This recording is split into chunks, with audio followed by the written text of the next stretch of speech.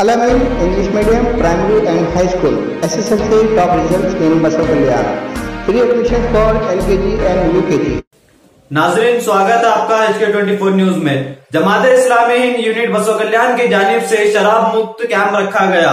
जो लोग शराब के आदि हैं, उनको शराब से छुटकारा दिलाने के लिए जमात इस्लामी हिंद बसो कल्याण ने यह कदम उठाया। तो आइए देखते हैं आज की ये खबर जानिए आप जो है कामयाब हो सकते हैं और आपकी ज़िंदगी बेहतर हो सकती है शराब ये कब शुरू करते हैं शुरू शुरू में मज़ा आता है पिछले महीने भी इस तरह का शराब मुक्त कैंप रखा गया जिसमें 70 से ज्यादा अफराद ने इसका भरपूर फायदा उठाया और आज 32 से ज्यादा अफराद शराब मुक्त कैंप में इलाज के लिए रुजू हुए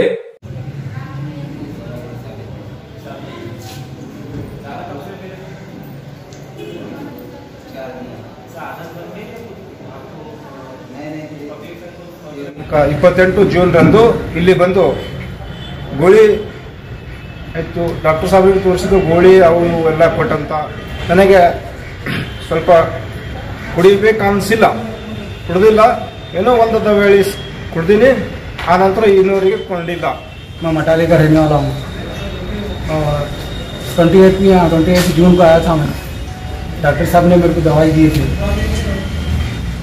करीबन एक महीना हो गया आज को मिला एक महीना हो गया उस तारीख से मैं दवाई शराब भी नहीं किया और अल्लाह के फजल से तीन टाइम खाना खाई जा रहा है आराम से।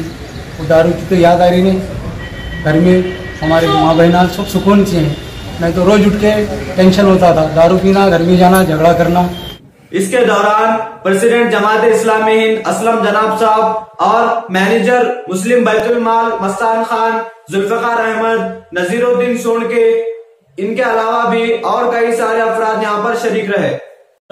आगे महीना भी शराब मुक्ति कैंप रखा गया है। मंठाल ग्राम में। नहीं, मंठाल ग्राम में जो बसो कल्याण तालुका में आता है।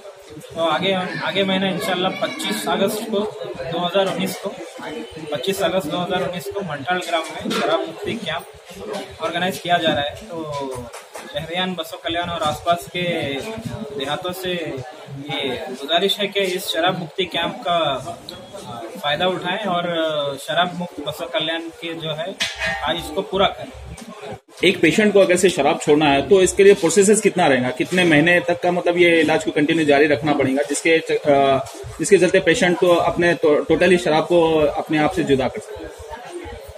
पेशेंट के जो है वेरी होता है। अलग अलग पेशेंट दूसरे टाइप का होता है। जो कितना पीते हैं, कितने साल से पीते हैं, उसके ऊपर अगर उनका पैटर्न क्या है अल्कोहल डिपेंडेंस मतलब अल्कोहल के ऊपर बॉडी पूरा डिपेंड हो गया है, वो चेक करना पड़ता है। उसके हिसाब से उनका ट्रीटमेंट चलता है। तो अगर एक बार कोशिश ट्रीटमेंट स्टार्ट होने के बाद उनका फिजिकली फिट है वगैरह चेक करके ब्लड टेस्ट वगैरह चेक करके इलाज स्टार्ट करते हैं। फिर थोड़ा तवील इलाज होता है, क्योंकि ये एकदम मैजिक के जैसा नहीं होता है कि एकदम गोली खाए छोड़ के ऐसा नहीं होता इस तरह का और एक शराब मुक्त कैंप मटाला गाँव में अगले महीने की 25 तारीख को रखा जाएगा जिससे आप सब लोग भरपूर फ़ायदा उठा सकते हैं।